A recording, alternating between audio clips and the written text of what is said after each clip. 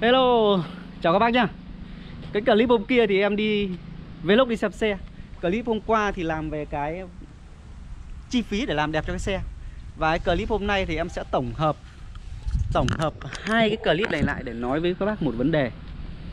Sở dĩ em làm clip hôm nay là bởi vì là do hai clip hôm trước nó tổng hợp lại một clip hôm nay. Cái việc đầu tiên ý, em muốn hỏi các bác là các bác đang xem cái video này nhá. Em hỏi các bác thôi à, Nếu như các bác là bọn em đi mua con xe đó Đi mua con xe ở Vĩnh Phúc đó, cách khoảng à, cả đi cả về 180 cây Nếu như các bác là người đi mua Hay nói khác là em là người trả tiền cho các bác đi mua hộ à, Các bác đi ờ, 170 cây Đến đấy Em trả tiền đưa uh, Giả sử các bác à, em bảo rằng đấy à, Em có cái xe đấy đấy Anh đến đấy Xem cho em cái xe đấy uh, Chất như thế mang về đây cho em uh, Xe của anh và nhờ một người nữa đi cùng để lái về thì anh em lấy công bao tiền? À, anh em tự đánh xe đi tự mang một người quen đi đến đấy xem con xe. Chất đánh con xe đấy về đây sau đó là lấy công em trả tiền công các bác lấy bao tiền? 2 triệu được không? 2 triệu mà cả xe của các bác luôn đấy. Có đáng không? Hay là 3 triệu? Hay là 4 triệu? Hay là 5 triệu Vậy thì cái này em lại chia sẻ với Có bác nói rằng Ôi ông chỉ mua 188 triệu Bây giờ ông bán lên 196 198 triệu là ông ăn ngon rồi Ông đi có một ngày ông, ông Công việc của ông có một ngày. Đấy. Các bác tính thử xem.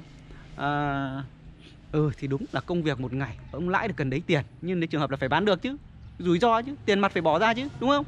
Đấy Thì làm sao mà các bác nói như vậy được? Cái clip hôm nay tất cả à, với cái clip uh, của Việt Bắc Ca hôm nay em Cường nickname Cường Blue. Hôm nay xin chia sẻ với các một cái vấn đề mà um, không giống với những cái video khác. Không giống với những cái video mà trước đây em vẫn chia sẻ về những cái vấn đề về xe hơi về ô tô hay là về đam mê ô tô. Và hôm nay cũng là về ô tô thôi. Nhưng em chia sẻ cái clip này là mong các bác đang xem video này đã xem video này và đang chuẩn bị mua xe uh, tìm hiểu về xe thông cảm một chút cho người thợ nhá. Cái này em phải làm là, trước đây em thì chia sẻ rất nhiều những cái clip nói về người mua xe, có lợi cho người mua xe. Em chưa nói một clip nào nói về có các bác thông cảm cho người buôn xe. Đấy, các bác thông, phải hiểu được rằng là buôn cái gì nó cũng là buôn. Buôn rau cũng là buôn, mua rẻ bán đắt. Buôn cái bánh mì nó cũng là buôn và buôn xe nó cũng vậy, người thợ cũng vậy. Còn đối với những người người có không có tâm em bỏ qua đi nhá em bỏ qua. Bởi vì người bán rau cũng có người không có tâm. Người ta bỏ uh, bán những cái ngọn rau rất là ngon là đấy nhưng mà nó có thuốc sâu đúng không? Đấy hay là bánh mì cũng vậy. Đấy. Thì cái clip hôm nay em chia sẻ một cái vấn đề là dành cho những cái người thợ có tâm nhá. Thì ờ, nội dung clip hôm nay ấy, thì em muốn chia sẻ với các bác là khi mà một người thợ mua một cái xe em lấy ví dụ đấy nhá những xe đời cao thì em không nói. Xe siêu lướt thì em không nói bởi vì về giờ rửa nước lã là nó sạch rồi Đấy, còn cái xe hai ba trăm triệu, 100 triệu, 150 triệu khi mà người thợ người ta mua cái giá đấy về Thì họ phải bỏ thêm bao nhiêu tiền, chi phí thêm bao nhiêu tiền Và họ bán ra như vậy có lời được nhiều hay là ít? Đấy, đấy mới là cái vấn đề các bác ạ. Các bác cứ nghĩ rằng là thợ mua rẻ. Thế em lại ví dụ với các bác một lần một một câu ví dụ nữa. Nếu như các bác là người bán xe Các bác có bán rẻ không? Thời buổi công nghệ thông tin tràn lan Thời buổi người khôn của khó. Đấy. Đăng một cái xe lên bán Các bác có muốn, muốn, muốn bán rẻ không? Các bác cũng phải hiểu được rằng là À cái xe này trên thị trường đang bán 200 Thì tao cũng phải bán 200 Thậm chí tao là người dùng thì tao phải bán 201 cơ. Đấy. Đúng không? Không phải thợ Tao không phải thợ Tao phải bán cao hơn Vì xe tao chất xịn. Vì, vì sự thật nó cũng cũng là như thế đấy. Em cứ cho là cái xe chất xịn thật đi. Đấy. Không chất xịn mà là ờ, người dùng thì lại rất hay mua của dân Mà đã bán xe thì chủ yếu là bán cho người dân. Chứ các bác là khách lẻ bán cho thợ cực kỳ là hiếm luôn. Em khẳng định là như vậy. Nếu xe của bác chất thực sự đăng lên phát Thì người quen các bác mua mất rồi. Đấy. Cái thời buổi này mua một cái xe không không phải là dễ và cũng không phải là khó. Đấy. Thế nhưng mà khi mà các bác, cái xe của bác chất thực sự các bác đăng lên hoặc cái xe chất ngon thật các bác có muốn để cho người quen của các bác cơ? Không muốn bán ra ngoài đâu. Nó bán ra ngoài thì chỉ bán cho thợ, bán cho thợ thì giá rẻ hơn thì ai bán, đúng không? Thì cá nhân bọn em thợ thì làm sao mua được xe? Các bác lại lấy một ví dụ nữa là các bác là người đi tìm mua xe đi. Các bác có tìm được mua được xe rẻ không? Không đúng không? Khó đúng không? Bọn em cũng thế, bọn em cũng chỉ là người mua xe thôi nhá. Là người đi tìm xe online rồi nhờ vào những mối quan hệ để tìm xem có ai bán xe không. Đến xem em có mua được không và mặc cả cái giá này về cảm thấy mình có một chút lời là mình làm. Đấy. Thế còn quay trở lại cái vấn đề chính là một con xe dạ, em giả sử như con này là mua 200 đi em giả sử thôi nhé mặc dù nó thấp hơn 200 một người thợ người ta mua. Mua của người à, dùng mua của người dùng đi mua của một người coi như là giới thiệu nhau hay là vì lý do nào lý mà mà mua được đi. Không nói mua của của của lại của các gara của các tay thợ khác được gọi là à, xe bán thợ. Thì những cái xe bán thợ đấy nó đã được làm tuốt hết rồi. Chuốt lại hay gọi là dọn dẹp sạch sẽ hết rồi. Đấy thế còn nếu như mà mua phải những cái xe ví dụ như cái con morning hay mua hôm kia về phải dọn ấy, thì cái chi phí dọn hết bao tiền nhé em lấy ví dụ dụ chính con này luôn. Con này là con morning nhập 2008 và nếu như bác chủ của cái xe này đang xem cái, đang xem cái video này nhá. Thì các bác nhận xét cho em luôn là cái xe này nó khác với cái xe bác bán cho em không nhá? Bác này ở Thái Nguyên, bác này cũng đang xem kênh của em. Nếu bác có xem thì bác comment ở dưới hộ em. Khác không? Và cái chi phí em nói thẳng ở đây là chi phí em làm thợ hết, làm thế nào để cho nó đẹp như này nhá. Đầu tiên, các bác nếu bác chủ ở đây thì bác biết toàn bộ cái xe này nó xước sát hết. Em phải sơn quây toàn bộ lại. Và chi phí sơn quây của con này cao bởi vì nó không giống như những cái xe thông thường là xe đời cao nó có mã màu phun phát là xong nhưng con này không. Phải có thợ pha sơn cái thứ đầy đủ. Và những cái chỗ này xước một tí thôi nhưng phải sơn hết ở ra kia.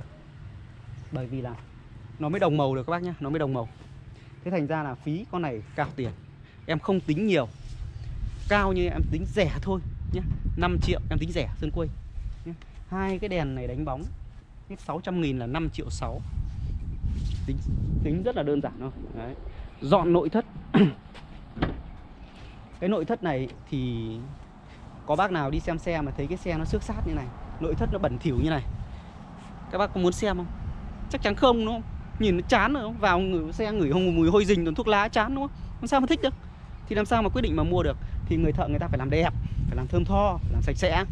Nhưng cái chi ngược lại muốn làm được cái đấy thì các bác phải mất tiền nhá. Mất kha khá là nhiều tiền luôn dọn nội thất vừa nãy là 5 triệu mấy là 5 triệu 6 và dọn nội thất.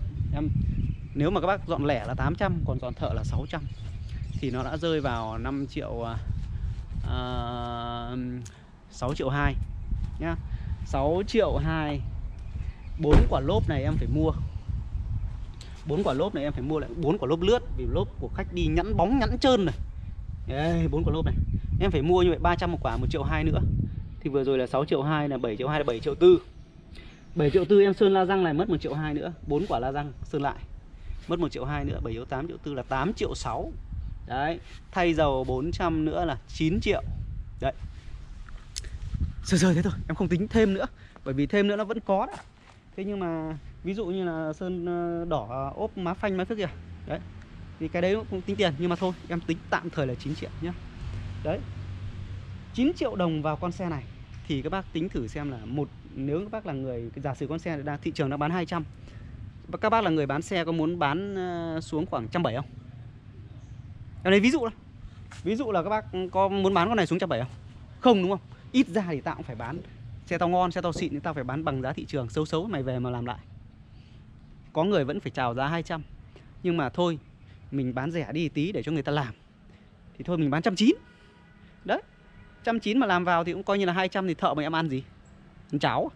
Đúng không Thế thế cho nên là nếu như mua được người thợ mua được con này 180 Và người ta bán ra 200 thì họ cũng chỉ lợi được lời được 10 triệu Và 10 triệu với cái tỷ suất lợi nhuận như vậy nó chỉ đạt có 5% nhá. Đấy là trường hợp bán được cao còn nếu không chỉ lãi 5 7 triệu.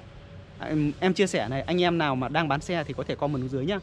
Là có khi nào những con xe này các bác phải bán với lời lợi nhuận với cái giá 5 7 triệu không? Chưa kể gặp xe lỗi, chưa kể gặp xe à, để lâu tồn lỗ. Ồ, bán xe lỗ là chuyện bình thường các bác ạ. Đấy. Đấy. Thế cho nên là cái clip này ấy, nó cũng ngắn ngắn thôi nó cũng không ờ, không dài lắm nhưng mà em mong muốn chia sẻ với các bác và đưa đến cho các bác một cái thông tin rằng à, nên thông cảm một chút các bác là người mua xe mà biết là các bác là người có tiền rồi các bác là thượng đế rồi đấy nhưng bác thông cảm một chút cho người bán xe bán xe có tâm thật sự là như vậy những người không tâm họ đi bán xe lừa đảo có thứ xe lỗi liếc cái thứ họ bán thì không nói. Nhưng những người người ta bán xe có tâm có nhà có cửa có con có cái tất cả mọi thứ họ ở cái nhà của họ. Họ bán theo cái kiểu như là uh, nó vẫn phải có lời nhưng mà bán theo cái kiểu là mua xe chất và bán xe chất. Lỗi thì bảo lỗi lỗi thì cái giá của xe lỗi. Đấy. Thì đấy sau clip cũng chỉ là ngắn gọn như vậy. Mong các bác một phần nào đó hiểu cho anh em bán xe bọn em. Đấy. Cái này em chia sẻ thật tâm và thật tình. Đấy, em không bênh ai cả và cái này nó là sự thật hiển nhiên ở trong cái cuộc sống này, trong cái ngành nghề bán xe này nhá. các bác ạ. Nhiều khi kiếm được đồng tiền của ờ, xã hội không phải là dễ các bác cứ nghĩ rằng là ôi cái thằng đấy làm buôn bán xe đã nhiều tiền lắm nhưng thực ra nghề nào cũng có cái khó của cái nghề đó. Đấy.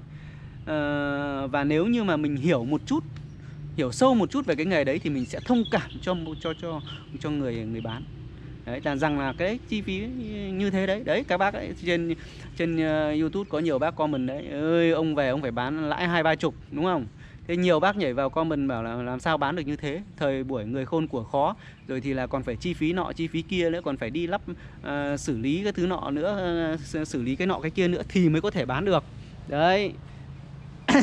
Thì đấy là những cái bác mà từng trải những cái bác hiểu về cuộc sống hiểu am hiểu hay là một phần hiểu một phần nào đó về công việc của người thợ bán xe. Đấy. Ôi, cũng đã 11 phút rồi. Chia sẻ dài quá thì có khi là anh em không xem nhiều thì mà tốt hơn hết là em cứ chia sẻ ngắn gọn thôi và xúc tích thôi. Đấy mong rằng các bác à, xem xong cái clip này là hiểu hơn một chút về về về anh em bọn em. Anh em là nghề nghề bán xe của bọn em. Đấy. Rồi ok. Cảm ơn các bác đã theo dõi clip clip này thì như nào nhỉ? Nó cũng có thể là có một cái gì đấy trái chiều. Thế nhưng mà à, các bác à, có ý kiến gì đấy thì cho giúp em nhé. Giúp em cho một comment xuống dưới để em hiểu rõ hơn về vấn đề. Đấy ví dụ như các bác bảo rằng là à, không nên làm này hay là à, hay là nói cách khác là các bác comment những cái ý kiến suy nghĩ của các bác xuống giúp em đấy. Và cái video nào hay, kênh này hay thì các bác có thể là cho em xin một like, một subscribe để, một đăng ký để kênh có thể phát triển được tốt hơn nữa. Rồi, ok. Cảm ơn các bác đã theo dõi clip nha.